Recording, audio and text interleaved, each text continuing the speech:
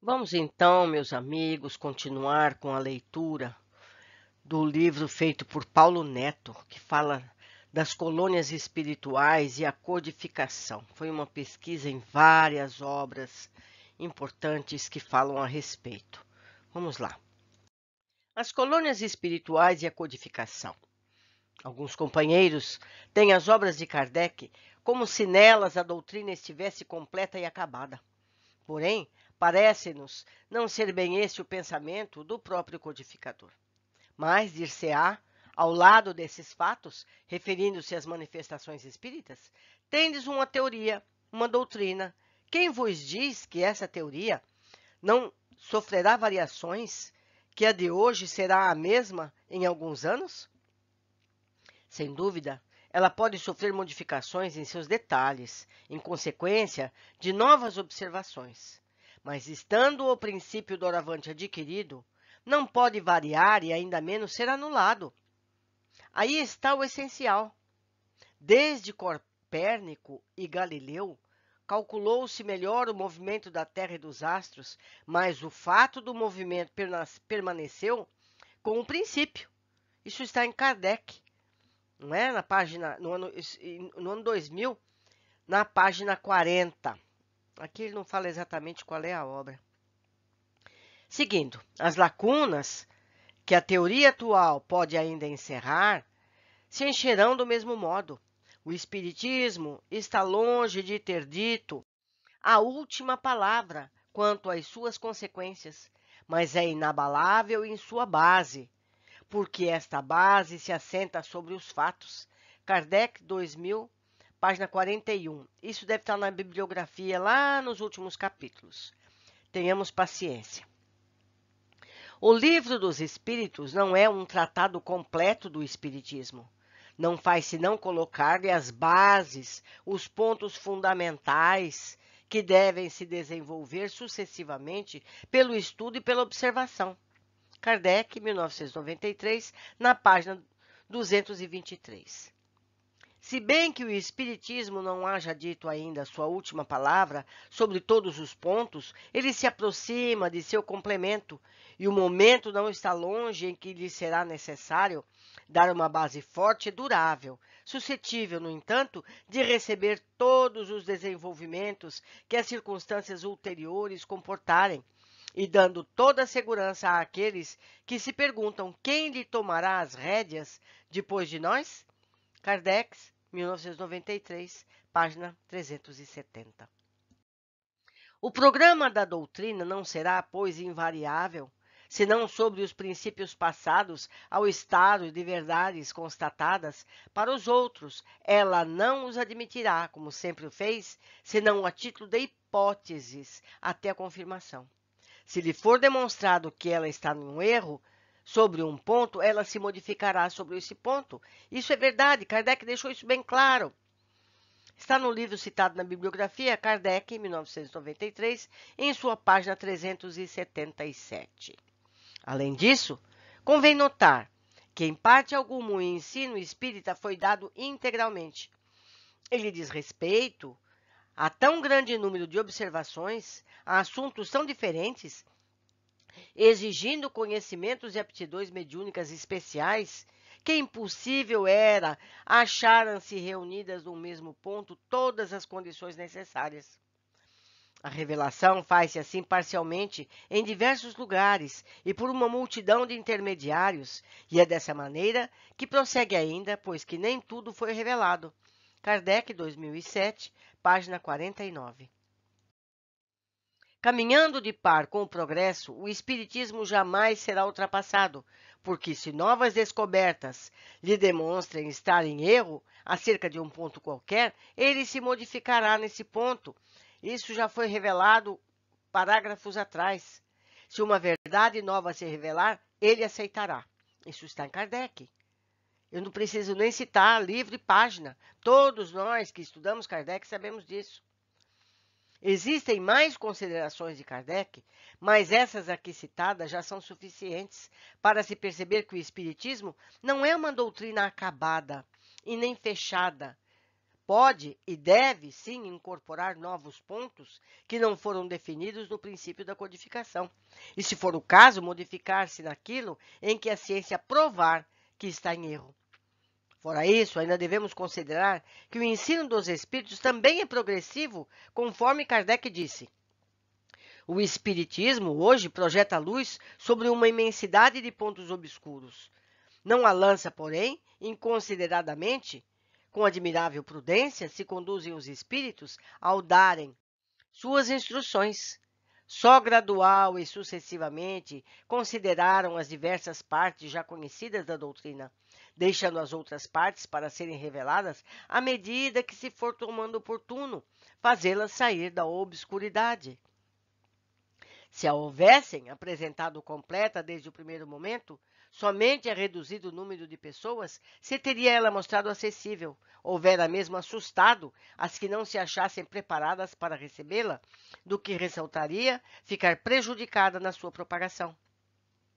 Se, pois, os espíritos ainda não dizem tudo, ostensivamente, não é porque haja na doutrina mistérios em que só alguns privilegiados possam penetrar nem porque eles coloquem a lâmpada debaixo do alqueire. É porque cada coisa tem que haver no momento oportuno. Eles dão a cada ideia tempo para amadurecer e propagar-se antes que se apresente outra. E os acontecimentos o de preparar a aceitação dessa outra. Kardec, 2007, página 370 e 371. É bom lembrar que Jesus disse: Tenho ainda muito a vos dizer, mas não podeis suportar agora. Isso está em Jó 16, 12. Ora, se o mestre, com toda a sua capacidade de se fazer entender, sentiu que não conseguiria fazer com que os seus discípulos o entendessem, é de esperar que todos os espíritos que estavam envolvidos na codificação, sob a coordenação do Espírito de Verdade, também não iam se fazer entender face às suas imperfeições humanas. Ademais, temos que separar o que é contrário a pontos doutrinários daquilo que não veio a fazer parte da codificação, por não ter tido levado à consideração dos espíritos ou por motivos da própria evolução do conhecimento humano, pois são duas situações completamente diferentes. Parece-nos que alguns companheiros estão tomando a resposta à pergunta 87 para dizer que não há colônias, umbral e etc Assim, vamos transcrevê-la com a respectiva pergunta. Pergunta 87 do Livro dos Espíritos. Ocupam os espíritos uma região determinada e circunscrita no espaço? Resposta: Estão por toda a parte, povoam infinitamente os espaços infinitos? Tendes muitos deles de contínuo ao vosso lado, observando-vos e sobre vós atuando, sem o perceberdes? Pois que os espíritos são uma potência da natureza e os instrumentos de que Deus se serve para a execução dos seus desígnios providenciais. Nem todos, porém, vão a toda parte, por isso que há regiões interditas, ao menos adiantados. Tá claro, não é, meus amigos? Que há espaço específico para cada padrão espiritual. A afirmação de não haver região determinada e circunscrita no espaço nada tem a ver com a existência ou não de colônias espirituais que atualmente tantos companheiros atacam. Porém, ao que tudo indica, eles estão levando em consideração o conceito então vigente à época de céu e inferno localizados, ou seja, como locais circunscritos, como sendo um espaço físico delimitado. Fácil perceber isso pelo que os espíritos disseram em resposta na pergunta 1012. Haverá no universo lugares circunscritos para as penas e gozos dos espíritos segundo seus merecimentos? Resposta: Nós já respondemos a essa pergunta. As penas e os gozos são inerentes ao grau de perfeição dos espíritos. Cada um tira de si mesmo o princípio de sua felicidade ou de sua desgraça. E como eles estão por toda parte, nenhum lugar circuncristo ou fechado existe especialmente destinado a uma ou outra coisa. Quanto aos encarnados, Esses são mais ou menos felizes ou desgraçados, conforme é mais ou menos adiantado o mundo em que habitam. De acordo, então, com o que vindes a dizer, o inferno e o paraíso não existem, tal como o homem imagina? São simples alegorias. Por toda a parte há espíritos ditosos e inditosos. Entretanto, conforme também já dissemos, os espíritos de uma mesma ordem se reúnem por simpatia, mas podem reunir-se onde queiram, quando são perfeitos. Kardec, 2007, página 530 a 531. Ao que comenta Kardec. A localização absoluta das regiões das penas e das recompensas só na imaginação do homem existe. Provém de sua tendência a materializar e circunscrever as coisas, cuja essência infinita não lhe é possível compreender. Kardec, 2007, página 531. Vê-se, portanto, que o foco é a ideia de céu e inferno, como locais de pena e gozo eternos. Logo, não deve ser tomada a resposta da pergunta 87, aqui mencionada ao afirmarem: já respondemos a essa pergunta. Como algo contrário às informações sobre as colônias espirituais, vindas de várias fontes, conforme procuraremos demonstrar neste estudo a possibilidade da existência delas. Entendemos que as colônias estão em completa semelhança com as características do mundo transitórios, referidos nas questões 234 a 236 de O Livro dos Espíritos, que são apenas acompanhamentos, acampamentos temporários. Vamos lá, pergunta 300, 234. Há, de fato, como já foi dito, mundos que servem de estações ou pontos de repouso a espíritos errantes?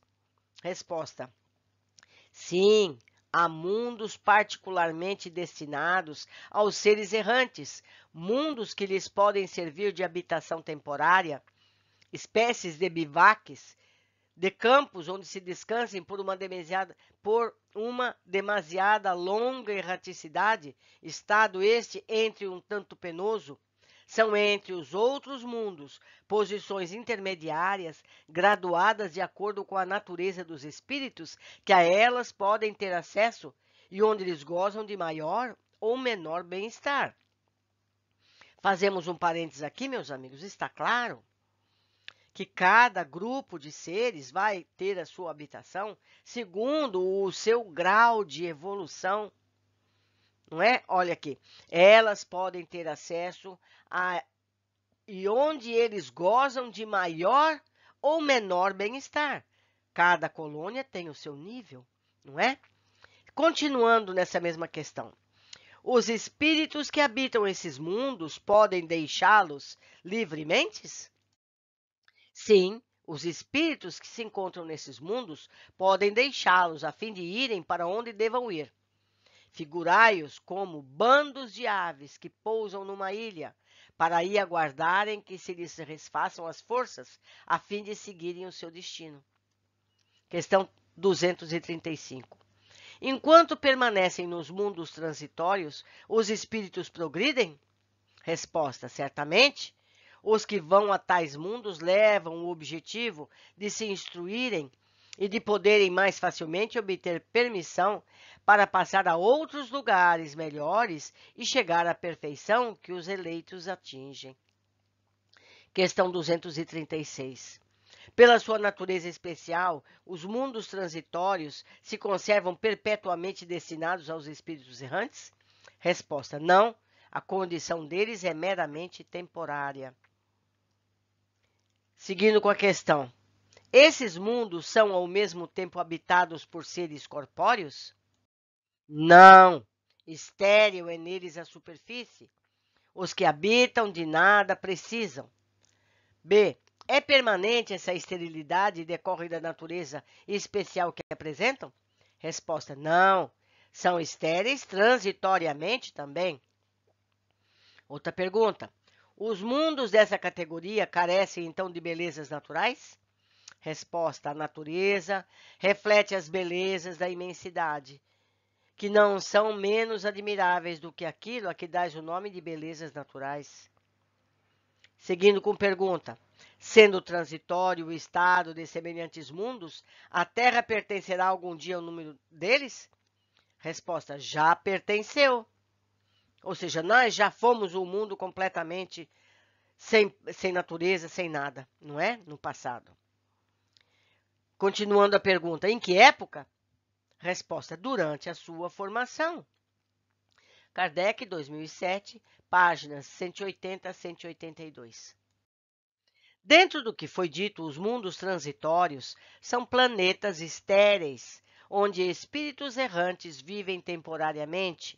Não há espíritos encarnados neles.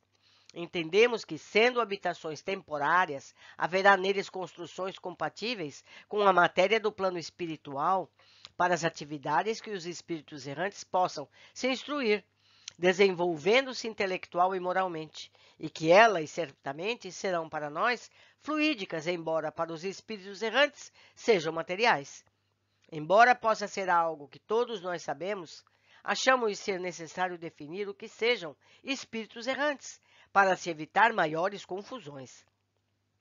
Excetuando-se os espíritos puros, Todos os outros espíritos que não estiverem encarnados e que aguardam a sua vez de reencarnar são designados como espíritos errantes. Vide isso na pergunta 223 a 233, o livro dos espíritos. Então fica claro que nos mundos transitórios, não havendo espíritos encarnados, os que lá se encontram estão em condições de espíritos desencarnados ou seja, espíritos errantes. E sendo esses mundos estéreis, certamente que se houver alguma construção neles, há de ser de matéria etérea, ou em algum estado que nós, pelo que entendemos, o que seja matéria, não compreendemos, por falta de parâmetro. Uma informação interessante, com a qual se pode ver que as coisas são mais complexas do que aparentam, é que o Sol não seria habitado por seres corpóreos, mas simplesmente um lugar de reunião dos espíritos superiores, os quais de lá irradiam seus pensamentos para os outros mundos, que eles atingem por intermédio de espíritos menos elevados, transmitindo-os a esses por meio do fluido universal. Kardec, 2007, página 150. Tomaremos agora a obra Céu e Inferno para analisar alguns desses trechos. Além disso, em vez de perdidos nas profundezas do espaço, estão ao redor de nós.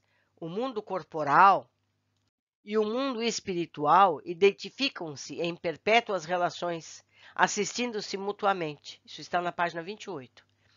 Existem, portanto, alguns mundos o corporal, composto de espíritos encarnados, e o espiritual, formado por espíritos desencarnados.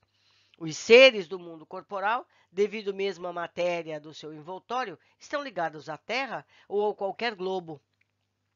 O mundo espiritual ostenta-se por toda parte, em redor de nós, como no espaço sem limite algum designado. Em razão mesmo da natureza fluídica do seu envoltório, os seres que o compõem, em lugar de se locomoverem penosamente sobre o solo, transpõem as distâncias com rapidez do pensamento. A morte do corpo não é mais que a ruptura dos laços que os retinham cativos.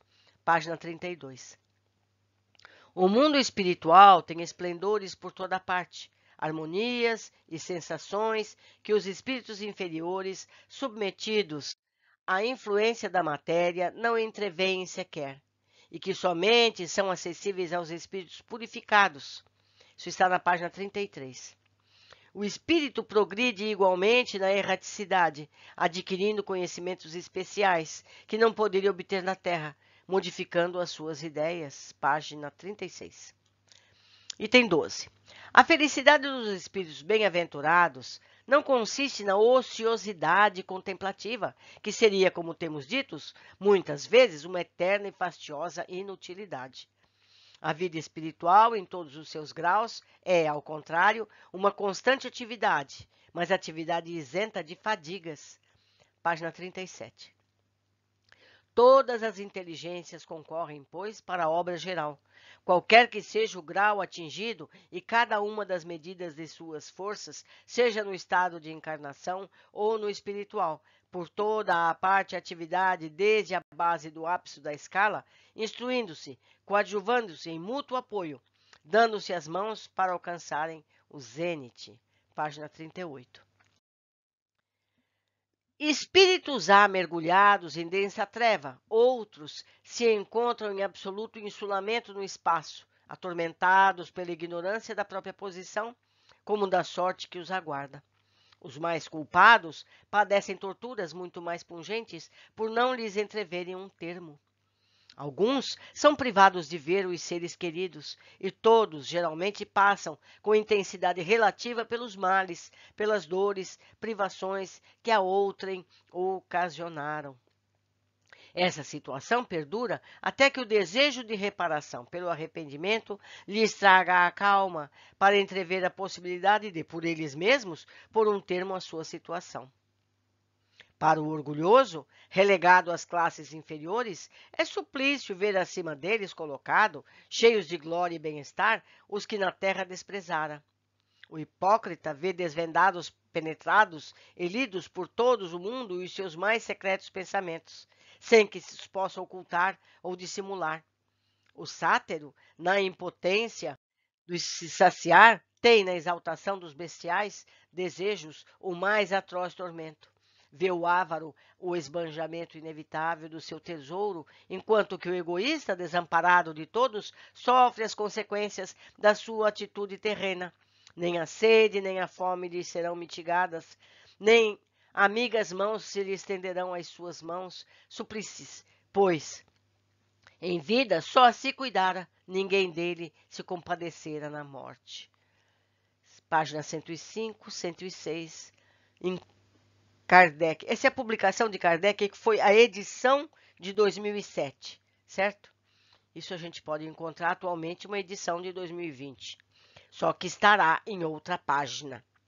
Então ele coloca qual é a edição para que a gente possa encontrar esse texto. Mas eu lembro sempre que as edições em PDF disponíveis pela toda a internet, você busca por palavra. Você põe uma frase, você vai encontrar em que página está com facilidade. Continuando. Acreditamos que tudo o que acima é falado pode, sim, servir de base para que a vida no mundo espiritual não seja apenas uma bela tela com os anjos tocando harpa. É ativa e com reais possibilidades de aprendermos muitas coisas quando nele estamos, no intervalo das encarnações. Por toda parte, no mundo espiritual, atividade e nenhum ponto ociosidade inútil. Isso está na edição de 2007, na página 251. O que é mais importante na obra O Céu e o Inferno vem agora. Trata-se de uma mensagem assinada pela Condessa Paula, classificada por Kardec entre os espíritos felizes. Depois de destacar as qualidades morais da Condessa, informando que ela havia falecido aos 36 anos de idade no ano de 1851 que um de seus parentes evocou-a 12 anos depois de falecida e obteve em resposta às diversas perguntas a seguinte comunicação: Tendes razão, amigo, que em pensar que eu sou feliz. Assim é efetivamente, e mais ainda do que a linguagem pode exprimir, conquanto longe do seu último grau. Mas eu estive na terra entre os felizes, pois não me lembro de haver aí experimentado um só desgosto real. Juventude, homenagem, saúde, fortuna, tudo que entre vós outros constitui felicidade, eu possuía. O que é, no entanto, essa felicidade comparada à que eu desfruto aqui? Esplêndidas festas terrenas em que se ostentam os mais ricos paramentos? E o que são elas comparadas a essas assembleias de espíritos resplandecentes de brilho a que as vossas vistas não suportariam? Brilho que é apanágio da sua pureza? Os vossos palácios de dourados salões, que são eles comparados com estas moradas aéreas, vastas regiões do espaço matizadas de cores que obnumbram o arco-íris? Os vossos passeios, os contados passos nos par parques que se conduzem comparados aos percursos na imensidade mais célere que o raio? Horizontes nebulosos e limitados, que são comparados ao espetáculo de mundos a moverem-se no universo infinito ao influxo do Altíssimo? E como são monótonos os vossos concertos, mais harmoniosos, em relação à suave melodia que faz vibrar os fluidos do éter e todas as fibras da alma. E como são tristes e insípidas as vossas maiores alegrias, comparadas à sensação inefável de felicidade que nos satura todo o ser, como um eflúvio benéfico, sem mescla de inquietação e apreensão de sofrimento? Aqui tudo ressombra amor, confiança, sinceridade, por toda parte corações amantes, amigos por toda parte. Nem invejosos e nem ciumentos. É este o mundo em que me encontro, meu amigo e ao qual chegareis infalivelmente se seguirdes o reto caminho da vida.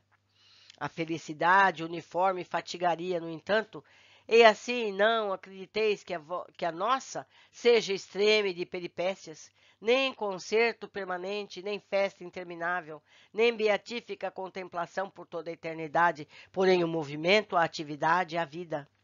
As ocupações postos que isentas de fadiga, revestem-se de perspectivas e emoções variáveis e incessantes pelos mil incidentes que lhes filiam. Tem cada qual sua missão a cumprir, seus protegidos a velar, amigos terrenos a visitar, mecanismo de natureza a dirigir, almas sofredoras a consolar, e o vai e vem, não de uma rua ou outra, porém de um outro mundo, reunindo-se, separando-nos para novamente nos juntar e, reunidos em certo ponto, comunicamos-nos o trabalho realizado, felicitando-nos pelos êxitos obtidos, ajustamos-nos mutuamente, nos assistimos em casos difíceis. Finalmente, asseguro-vos que ninguém tem tempo para enfadar-se por um segundo que seja. Presentemente, a Terra é o magno assunto em nossas cogitações. Que movimento entre os espíritos, que numerosas falanges aí afluem, a fim de lhes auxiliarem o progresso e a evolução. Dir-se-ia uma nuvem de trabalhadores a destrinçarem uma floresta sob as ordens de chefes experimentados. Abatem uns os troncos seculares, arrancam-lhe as raízes profundas, desbastam outros os terreno, arrancam-lhes as raízes profundas, abastam outros o terreno, amanham esses a terra, semeando edificam aqueles a nova cidade sobre as ruínas carunchosas de um velho mundo.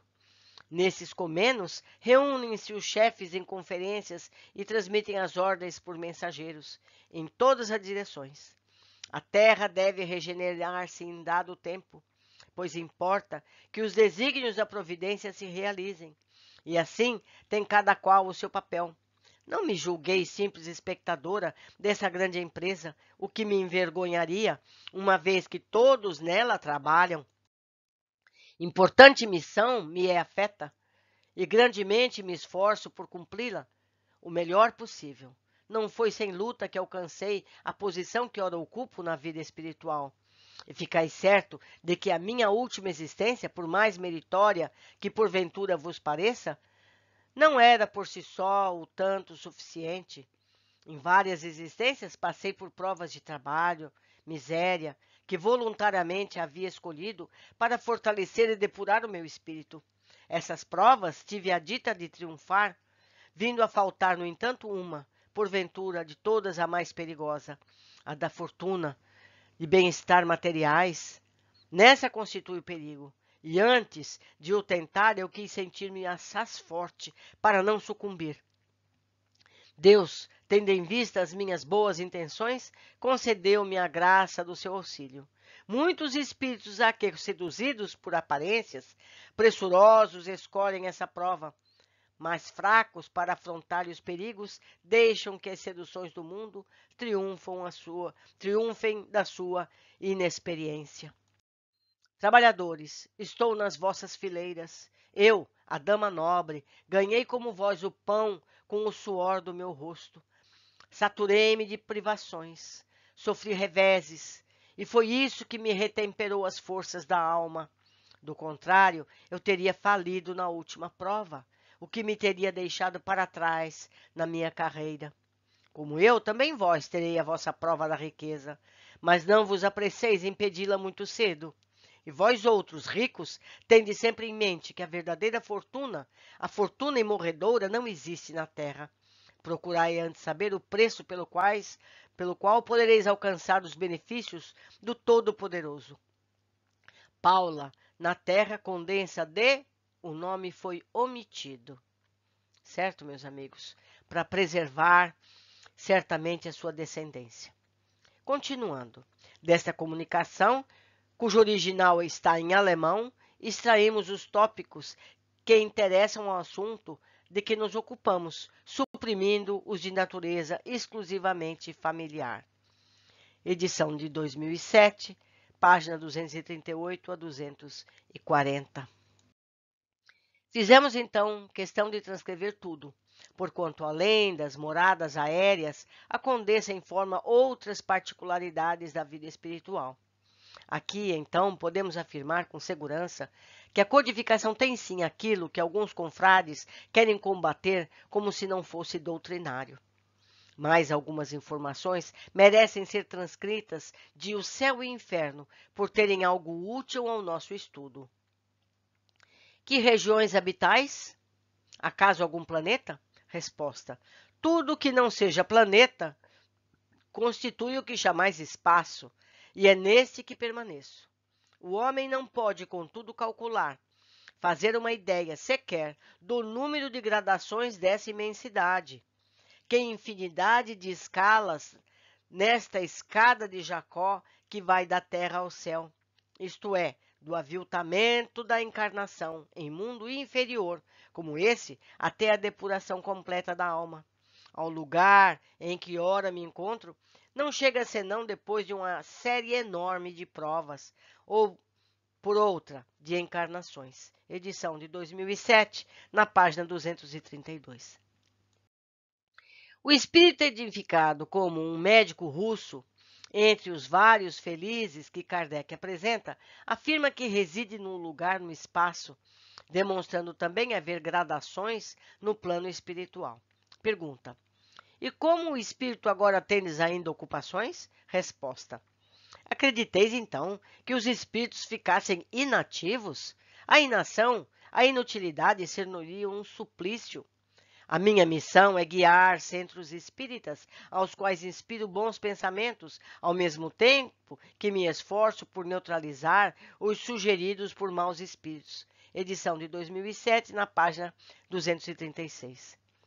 Essa comunicação de Bernardin, podemos confirmar que os espíritos de condições mais elevadas trabalham, e no caso em questão, sua missão é ser protetor de centros espíritas. Kardec, comentando a situação de Claire, um espírito sofredor, diz: Esses espíritos, quando desencarnado, não podem prontamente adquirir a delicadeza dos sentimentos e, durante um tempo mais ou menos longo, ocuparão as camadas inferiores do mundo espiritual, tal como acontece na Terra, assim permanecerão enquanto rebeldes ao progresso, mas com o tempo, a experiência, as tribulações e misérias das sucessivas encarnações, chegará o momento de conceberem algo melhor do que então possuíam. Edição de 2007, na página 311. Ao mencionar as camadas inferiores do mundo espiritual, Kardec sanciona a existência de níveis vibracionais diferenciados, ou, em outras palavras, esferas espirituais que atraem para si os espíritos que se assemelham às suas características ou vibrações. Para confirmar seu pensamento, Kardec indaga ao espírito de São Luís. Que devemos entender por trevas em que se acham mergulhadas certas almas sofredoras? Serão as referidas tantas vezes na Escritura? obtendo como resposta sim, efetivamente, as designadas por Jesus e pelos profetas em referência ao castigo dos maus. Edição de 2007, na página 311. Evocado novamente o espírito Claire, vejamos o que ela disse. Eis-me aqui. Também eu posso responder à pergunta relativa às trevas. Por vaguei e sofri por muito tempo nesses limbos onde tudo é soluços e misérias.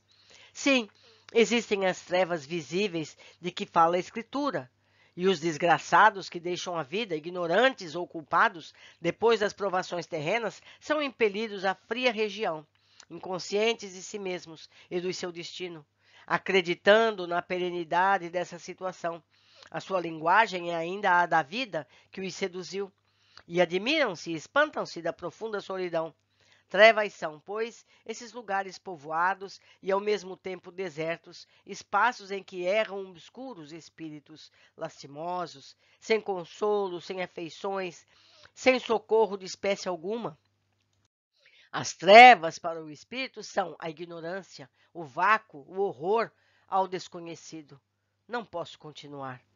Edição de 2007, nas páginas 313 e 314. Aqui se confirma o que foi dito antes em relação às camadas inferiores do mundo espiritual, em que cada, em que nada diferem daquilo que na literatura André Luiz se convencionou chamar de umbral. Vejamos o diálogo com um espírito que cometeu suicídio. Vede os vós, o vosso amante com o qual vos suicidastes? Nada vejo, nem mesmo os espíritos que consigo eram neste mundo. Que noite, que noite, e que véu espesso me circunda a fronte. Ou seja, a pessoa se matou na intenção de ver o seu amado e ela não via foi nada, nem o amado e nem ninguém mais. É uma ilusão. Essa porta do suicídio é a maior das ilusões. Continuando. Acreditais na perenidade dessa situação? Resposta: Oh, sempre, sempre, sempre. Ouço às vezes risos infernais, vozes horrendas que bradam, sempre assim. Edição de 2007, na sua página 329. A pobre coitada dessa alma, além de viver nas trevas, ainda ouvia vozes dizendo que permaneceria para sempre nessa condição. Outro espírito de suicida clamou ouvir vozes. Trata-se de Felicien, que a certa altura de sua comunicação reclama. Orai, principalmente para que me veja livre desses horríveis companheiros que aqui estão juntos de mim, obsidiando-me com gritos, sorrisos e infernais motejos. Eles me chamam de covarde, e com razão, porque a covardia é renunciar à vida. Edição de 2007, na sua página 344.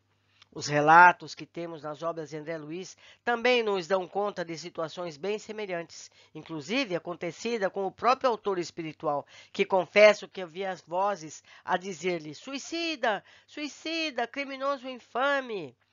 Edição de 1995, na sua página 21. Na Revista Espírita de 1865, encontramos uma comunicação assinada pelo espírito de Mesmer, da qual transcrevemos este pequeno trecho. O mundo dos invisíveis é como o vosso. Em lugar de ser material e grosseiro, é fluídico, etéreo, da natureza do perispírito, que é o verdadeiro corpo do espírito, aurido nesses meios moleculares, como o vosso de forma de coisas mais palpáveis, tangíveis e materiais. Então, comentamos aqui nós a matéria nos planos espirituais corresponde à densidade dos perispíritos. Certo? Então, nós encarnados temos objetos relacionados à nossa densidade, não é? Então, nós não vemos a matéria espiritual. Já para aqueles que vivem nos planos espirituais, a matéria lá é densa, é tudo proporcional. Continuando. O mundo dos espíritos não é o reflexo do vosso, é o vosso que é uma grosseira e muito imperfeita imagem do reino do além-túmulo. Vejam só que interessante. Isso está na edição do ano 2000, na sua página 160. Trazemos algo que Kardec disse que julgamos confirma tudo isso. Consideramos, pois, o mundo dos espíritos como o duplo do mundo corpóreo como uma fração da humanidade. Edição de 1993, na página 110. Em Os Livros dos Espíritos, a resposta à pergunta: os espíritos das diferentes ordens se acham misturados uns com os outros? Isso está na questão 278. E lemos como resposta: sim e não. Quer dizer, eles se veem, mas se distinguem uns dos outros. Evitam-se ou se aproximam conforme a simpatia ou antipatia, que reciprocamente uns inspiram aos outros, tal qual sucede entre vós. Constitui um mundo do qual o vosso é pálido reflexo. Os da mesma categoria se reúnem por uma espécie de afinidade e formam grupos ou famílias unidos pelos laços da simpatia e pelos fins a que visam os bons pelo desejo de fazerem o bem, os maus de fazerem o mal, pela vergonha das suas faculdades e pela necessidade de se acharem entre os que lhe assemelham. Isso está na edição de 2007, na sua página 205. Explicando, Kardec compara. Tal uma grande cidade onde os homens de todas as classes, de todas as condições se veem e se encontram, sem se confundirem, onde as sociedades se formam pela analogia dos gostos, onde a virtude e o vício se acotovelam sem trocarem palavra. Edição de 2007, na sua página 205. Ora, se, como dito, o nosso mundo é um pálido reflexo do mundo espiritual, onde os espíritos se reúnem por afinidade, formando grupos ou famílias, não é de todo improvável Aliás, para nós é até lógico constituírem locais ou mesmo cidades para isso, não é verdade? Para lá estarem. No artigo Confissão de Voltaire, publicado na Revista Espírita de 1859, Kardec justifica sua publicação, dizendo, entre outras coisas, que comunicação que aqui inserimos tanto maior bom grado, porque ela apresenta um lado eminentemente instrutivo do ponto de vista espírita. Edição de 1993, em sua página 234. Dela transcrevemos apenas dois parágrafos, porque tem a ver com o nosso tema. Foi, eu digo, zombador e desconfiado, e abordei o mundo espírita Primeiro foi conduzido para longe das habitações dos espíritos. Eu vou repetir, meus amigos, habitações dos espíritos. Então, os espíritos têm habitações. Seguindo, e percorri o espaço imenso. Em seguida, me foi permitido lançar os olhos sobre as construções maravilhosas das moradas espíritas. Com efeito, elas me pareceram surpreendentes Fui impelido aqui e ali por uma força irresistível. Tive que ver e ver que a minha alma transbordasse pelos esplendores e derrotada diante do poder que controlava tais maravilhas. Enfim, quis me esconder e me agachar no oco das rochas, mas não pude. Foi nesse momento que meu coração começou a sentir uma necessidade de expandir uma associação qualquer tornou-me urgente, porque eu queimava para dizer o quanto for induzido ao erro. Não por outros, mas pelos meus próprios sonhos. Não me restava ali a ilusão quanto à minha importância pessoal, porque eu não sentia senão muito o quanto era pouca coisa nesse grande mundo dos espíritos. Estava, enfim, de tal modo caído, de desgosto e de humilhação, que me foi permitido juntar-me a alguns dos habitantes. Foi dali que pude contemplar a posição que me fizeram na terra. O que disso resultou para mim no mundo espírita. Eu vos deixo acreditar se essa apreciação, apreciação foi-me risonha. Edição de 1993, em sua página 237 e 38.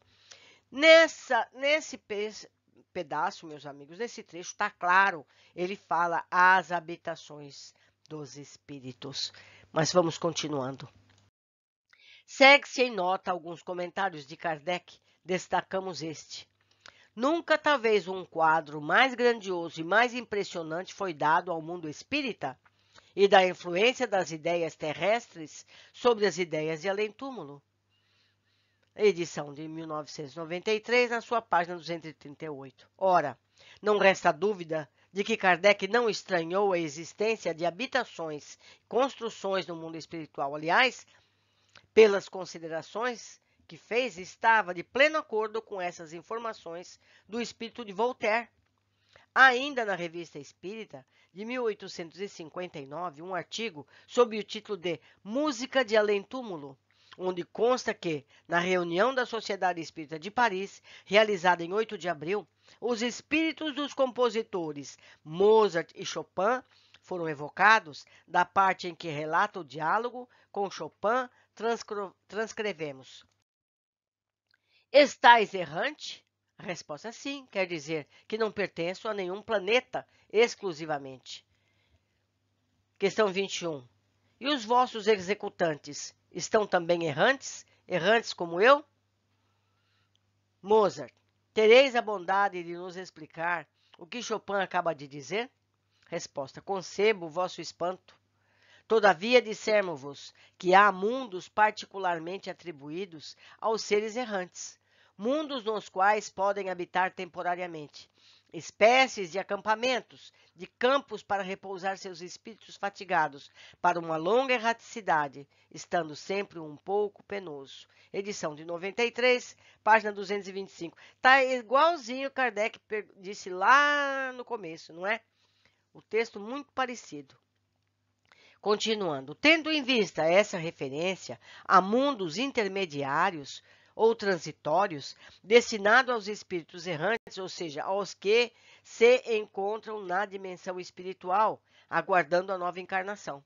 Kardec, visando aprofundar a questão, resolve numa outra oportunidade, fora da sociedade, questionar ao Espírito Santo, Espírito do Santo Agostinho, sobre eles, de cujas considerações podemos resumir. Isso está na edição de 1993, em sua página 126. Então, aqui está. Ocupam posições intermediárias entre os outros mundos. Neles, os espíritos têm o objetivo de se instruírem. Têm posição transitória e são destinados a espíritos, são destinados a espíritos errantes. Não são habitados por seres corpóreos tem superfície estéril, condição temporária.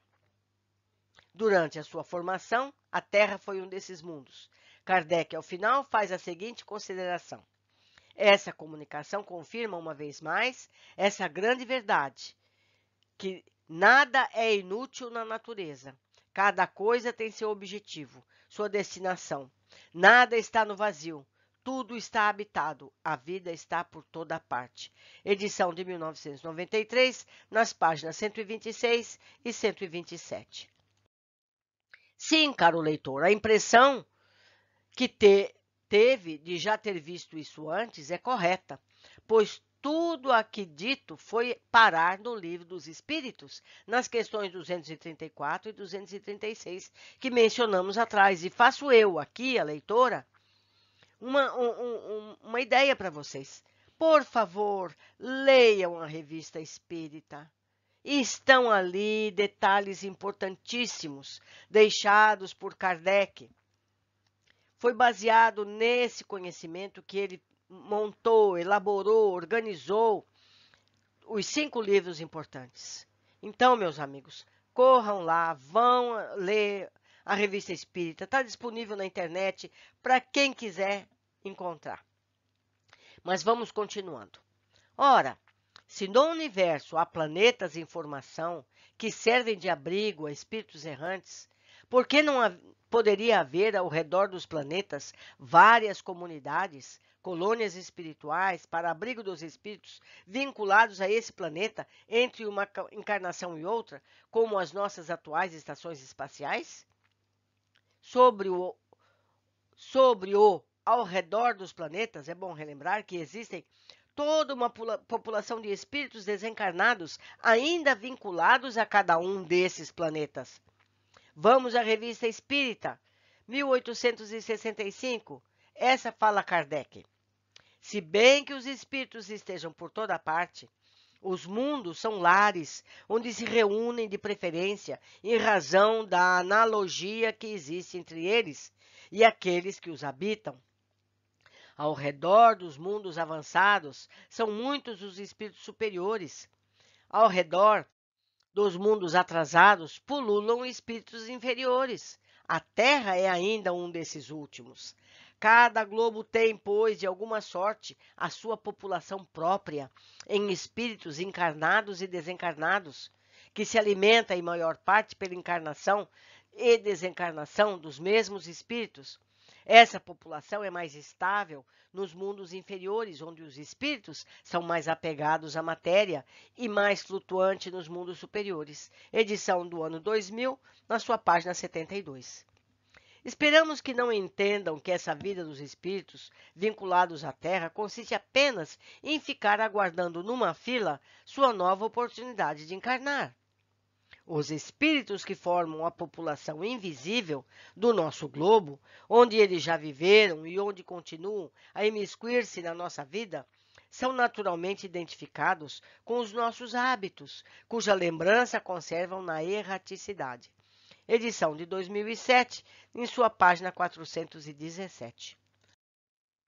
Ainda na Revista Espírita de 1865, no parágrafo anterior ao acima citado, encontramos: Os espíritos felizes, atraídos uns para os outros pela semelhança de ideias, dos gostos, dos sentimentos, formam vastos grupos ou famílias homogêneas, no seio das quais cada indivíduo irradia suas próprias qualidades e se penetra nos eflúvios serenos e benfazejos que emanam do conjunto, cujos membros ora se dispersam para ocuparem de suas missões, ora se reúnem num ponto qualquer do espaço para darem conta do resultado de seus trabalhos, ora se reúnem ao redor de um espírito de uma ordem mais elevada para receberem seus conselhos e suas instruções. Edição do ano 2000, em sua página 72.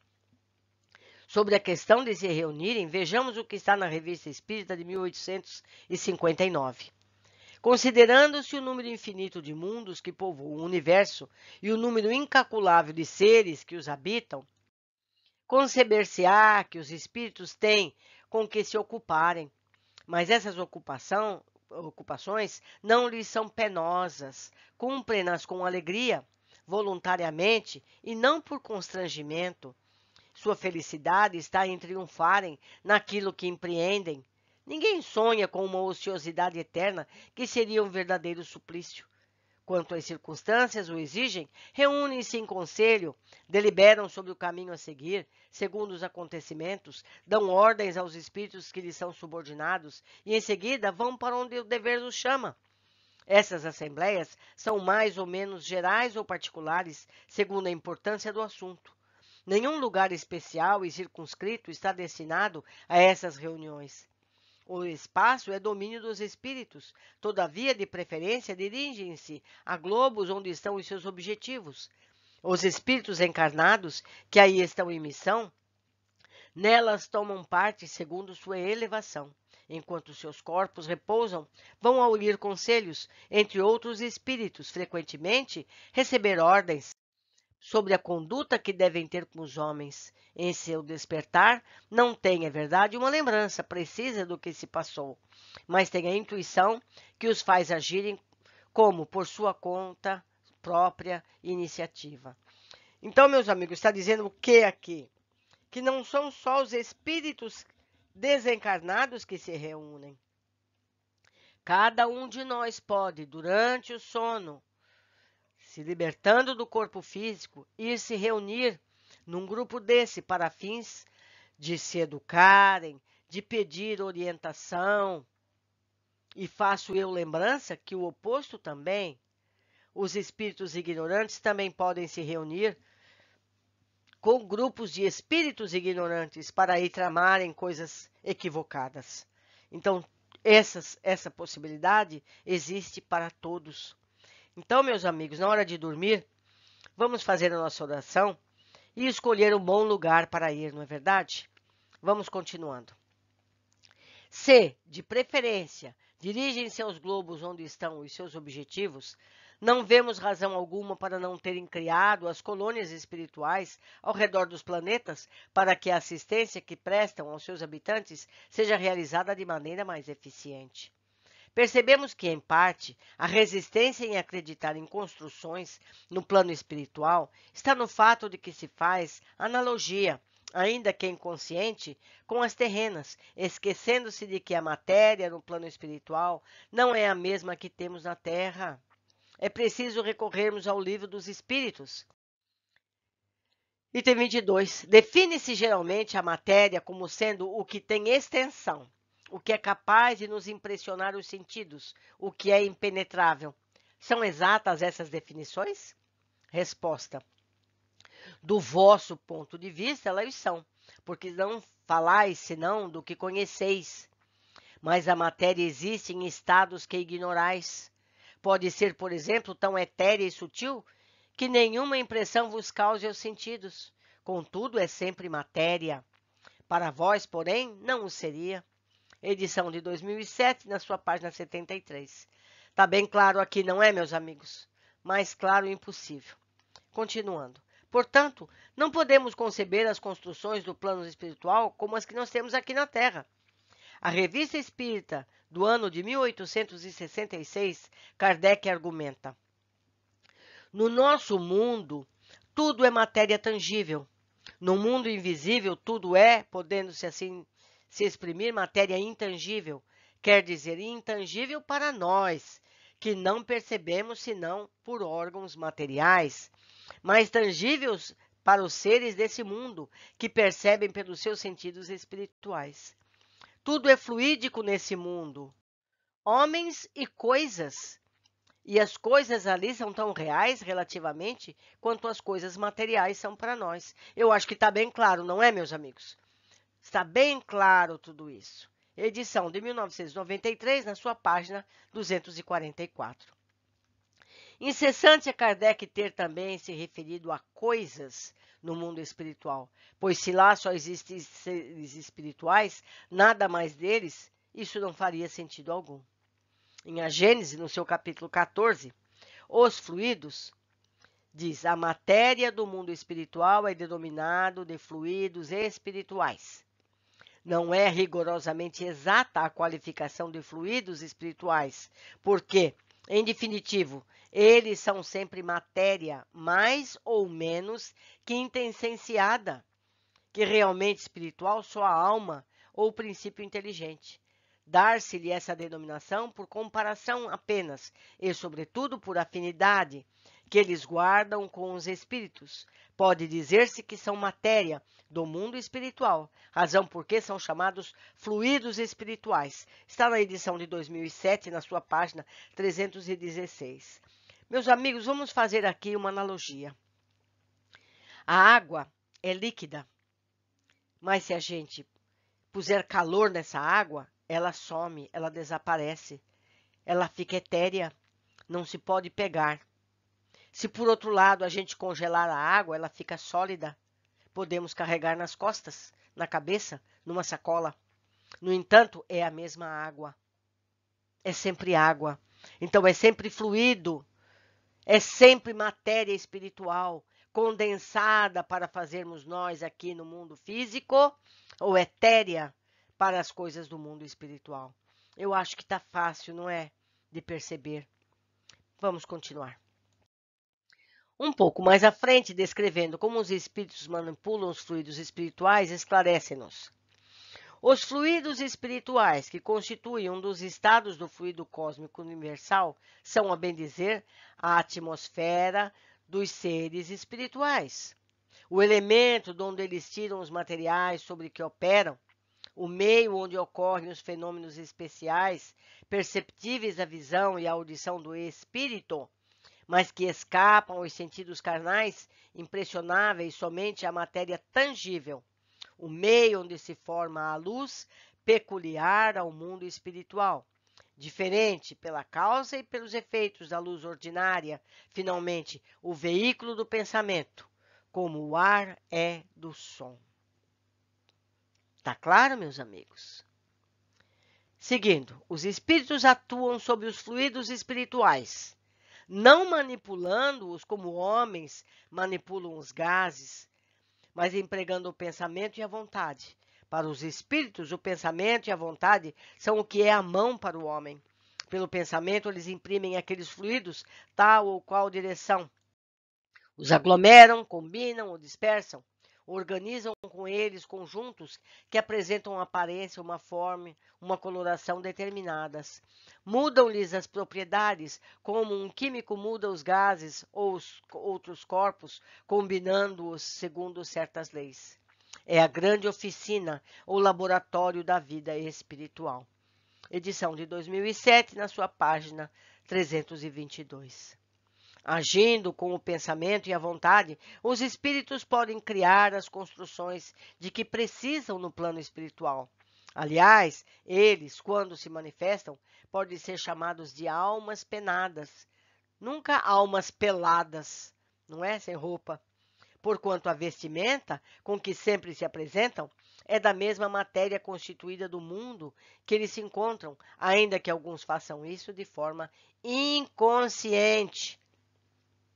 A própria questão de outros mundos habitados já é, para muitos de nós, algo ilusório, que vale a pena transcrever os dois parágrafos que iniciam o artigo As Habitações do Planeta Júpiter, que eu recomendo vocês lerem e que está aqui no canal toda a leitura desse capítulo.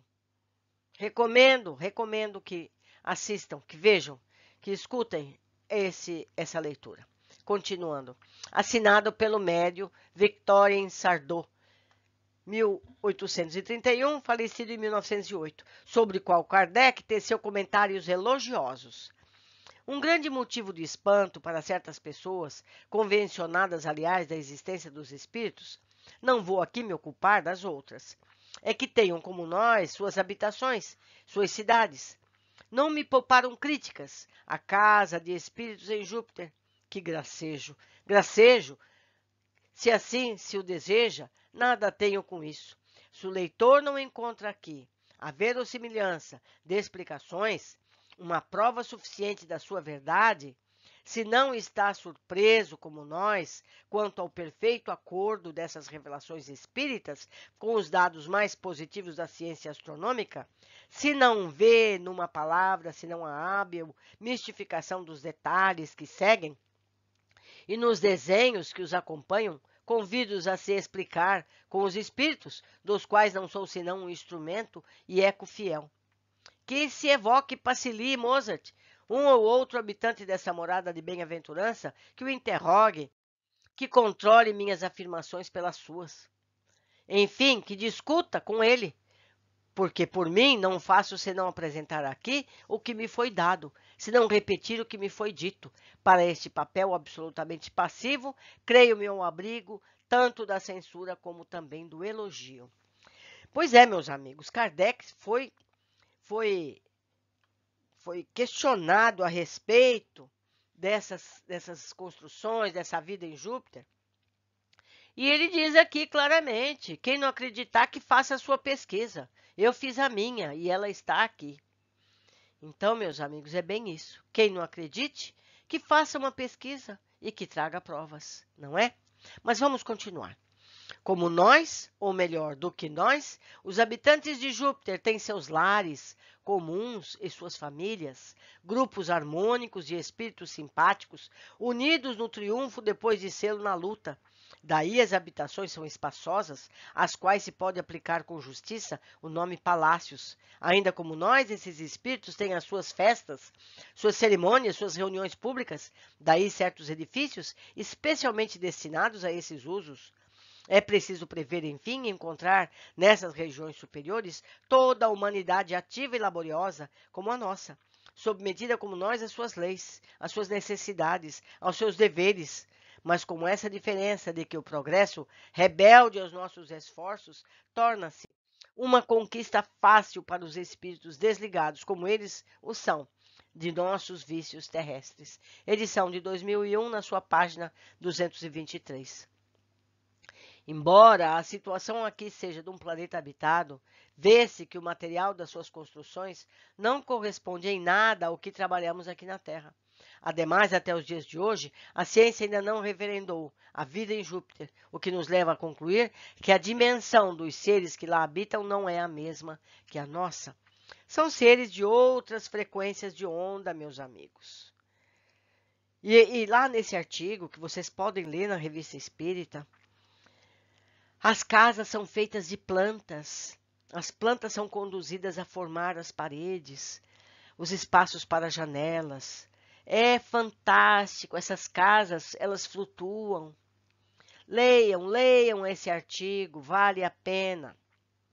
Por hoje ficamos aqui nesse capítulo maravilhoso. Aguardo vocês no próximo. Um grande abraço e até breve.